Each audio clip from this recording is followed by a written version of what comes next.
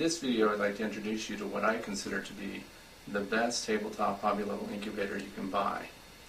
Uh, they're relatively inexpensive and this one is called the Genesis and it's model 1588 made by GQF. And I think this is great for classroom use for a number of reasons. Uh, one is that this unit has a nice clear top, for example, which means that students will be able to look through and see the incubation process and uh, it has a much wider view than some other units made by the same company have. The other thing is, um, you'll notice that there's no adjustment knob on top, which a lot of incubators also have. This incubator comes uh, with an electronic thermostat preset. Now, I verified the temperature prior to making this video to see that it operated at 99.8 degrees. And since in normal forced air units you want 99.5 degrees, so 99.8 is really a good setting so you shouldn't have to fiddle with it. Also, when these units sit in classrooms, uh, students sometimes come up and want to fiddle and adjust, and uh, they don't have that opportunity with a preset unit like this.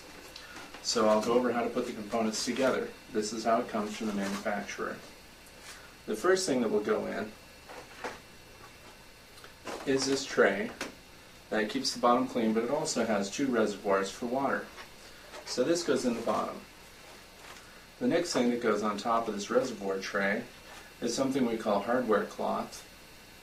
And this is a screen that if you were, for example, to put your eggs in the incubator without an automatic turner, they would rest on top of this screen. And also when your chicks hatch, they'll walk on the screen and it keeps them out of the water. Now, I'm going to demonstrate all the extras that you can get with it. So, rather than turn eggs by hand, we're including this automatic egg turner, which also comes from GQF. It has a capacity for 42 chicken eggs. Now they also send with the automatic turner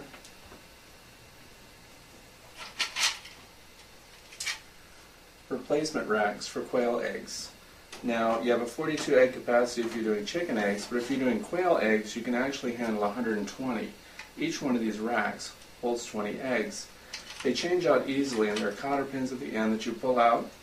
You pull this white strip off and then these each lift out and are easily removed and then you install the quail egg replacement cups. They also have another extra that's for goose eggs for example and it holds fewer eggs but has a larger capacity. So you would put your egg turner in the bottom sitting on top of the screen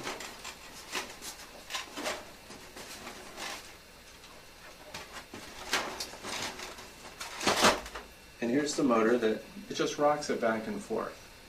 It's um, has a rate of rotation of about once every four hours for a complete revolution according to the uh, instruction manual that came with it. There's also a groove in the corner here that accommodates the cord that comes out. There's a corresponding groove in the top that the cord will pass through.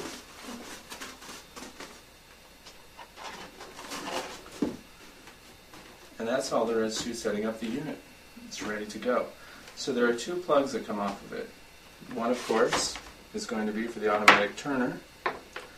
And the other, you'll notice, is for the DC uh, transformer. And it also plugs into a regular 110 outlet. Now the transformer plugs in on top, right here. And then the unit's running. There's no other setting for you to do. All that you do is let it set up for 24 hours ahead of time if you're doing this for the first time and have never hatched eggs before, I recommend that you not use uh, valuable chicken eggs, for example, your first time around. Also, there are instructions in the manual that show you how to make adjustments to this preset thermostat. Don't make any adjustments right off the bat. Run a hatch, and if it goes really well, then you know the settings are perfect. If your chickens hatch early, then you know that the temperature was probably too high. If they hatch late, then you know that the temperatures were too low. So then you'll make adjustments according to the instruction form that comes within the owner's manual. Now they also have a thermometer that comes with it. This thermometer is on a thin piece of lucite, it looks like. This would lay right on top of the eggs, and then that allows you to observe the temperature inside. If you're doing this as a course with children, I mean, there are a lot of different things that they can learn from it. For example, they could weigh the eggs before they begin their incubation process, and they should lose 13% of their weight on average throughout the hatching or incubation process, which is 21 days for chickens. If you're hatching something other than a chicken, always consult uh, hatching schedule to make sure that you're going to have them in for the proper amount of time.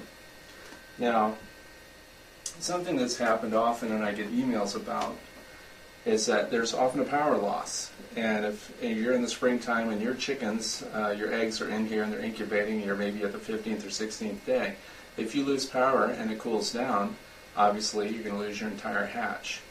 So what's really interesting about this unit is it runs on 12 volt DC. That's why we have this transformer here. The fact that it runs off 12 volt DC means that you can also have a backup system in the event of a power loss. So this adapter is available also from GQF and it plugs into the exact same plug that your normal power source would and this allows you to connect to a 12 volt battery. 12 volt batteries are pretty available. For example, um, you find them in cars, lawn tractors, boat motors, and things like that, snowmobile. Uh, so in an emergency, you could pull a, a battery from almost any source that you have. In this case, I have a 12 volt battery already standing by, and batteries are always marked positive and negative. And make sure that if you're setting up a battery and you're going to run this in an emergency situation, that you keep the battery away from children and pets so that nobody gets a shock. So you would hook the negative side first, which is the black insulator, and the positive side last, which is the red, and then the unit's running again. So in a pinch, you could hook this up to a battery. Of course, the bigger the battery and the more voltage it holds, the more amp power that it has, uh, the longer that the unit's going to run off of it. Now, the only thing that runs when you're hooked up to a battery is going to be the heating unit and the fan that circulates the air. The automatic turner is not connected to the battery, so that your eggs won't continue to rotate on their own um, when you're on auxiliary power like this. So I recommend that if you get to that point and you're in an emergency situation and you're going to run this off of a battery, you're going to have to remove the automatic egg turner and turn the eggs by hand. If you're turning off the battery source, again, disconnect positive first and then negative last. Unplug it, and then when your power is restored, just replug in the original adapter. And we're back on track again. Also, if for some reason you had to move them in an emergency, you could hook the same system up in your car, for example, and transport eggs running off a battery, keeping them warm.